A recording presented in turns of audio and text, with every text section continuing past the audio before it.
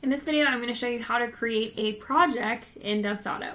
So let's dive in. Hi, I'm Laney of Design by Laney. I'm a wedding invitation designer and I love to teach creative entrepreneurs how to start and run successful businesses.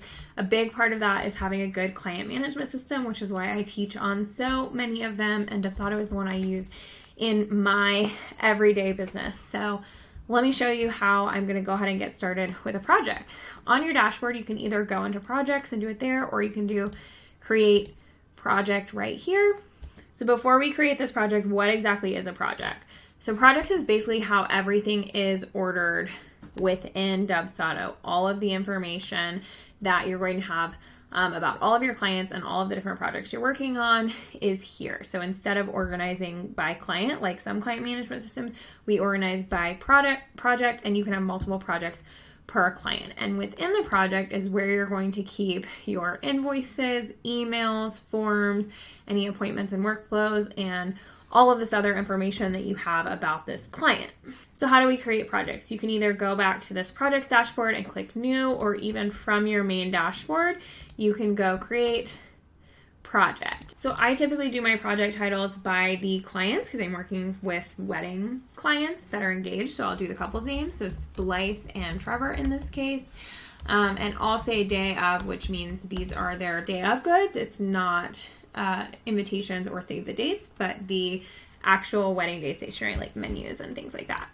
And then I always add the project date to be the wedding. This could be the due date. This could be um, after the due date, it could be their day that they contact you. It could be whatever you need it to be. And then later, if you watch my video on workflows, you can use the project date for other things like asking for reviews or sending out information to them, etc. So whatever date is going to be the most useful for you as far as remembering when their project is due, and also um, creating kind of milestones. Like if you need to send something out four months before the wedding date, then I like to have that as a project date because it's really helpful. So this one's May seventh. Um, you can do uh, these options for your calendar. I usually don't use the calendar, so I just leave them as is. I use a different calendar. Um, and then you'll need to either create a new client or use an existing client. So I'll create a new client and their first name is Blythe. Um, for me, last name doesn't really matter too much, but I could put that in there if I wanted to. And then I'm, I'm actually going to use their wedding planner's email because that's who I'm going to be in contact with. I could just use like Rachel is a contact, a client in my system already, but I don't want her to be getting emails on a bunch of different clients and not know where they're from. So I like doing it like this because then whenever I send an email that has their first name, it actually just puts in the the bride's first name or the groom's first name or whoever's in there. And so then Rachel knows which project this is about. So she understands my system on the back end. Um, if you want to just use the planner's name, that's okay. You can have as many projects as you want with the same planner or um, the same client. It doesn't really matter. But this is all the information I need. You can put as much information in here as you need though. Your job status, um, there's leads and then there's jobs. And then you get to decide the statuses within this. So, like with leads, I have active, followed up once, followed up twice, dead, um, older. With jobs, I have current, past, COVID 19, because I had a section of people who were postponed for COVID 19.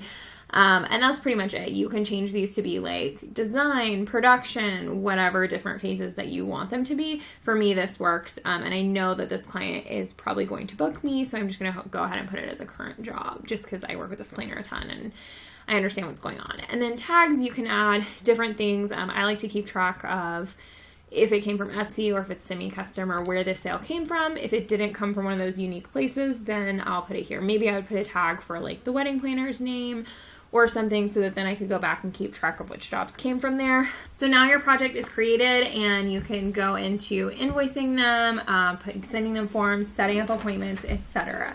Um, projects can also be created automatically if someone fills out your lead capture form and I have another video on that as well as a ton of other ones on my channel. If you are checking out Dubsado or if you're still in your free trial period um, and you're thinking about signing up, make sure you use my code Design by Laney, which will get you 30% off because I am a certified Dubsado specialist. Um, that link is going to be in the description of this video as well. And while you're here, I hope you'll watch so many of our other Dubsado videos as well as comparisons to other systems in case you're still deciding which one is right for you. Thanks everybody.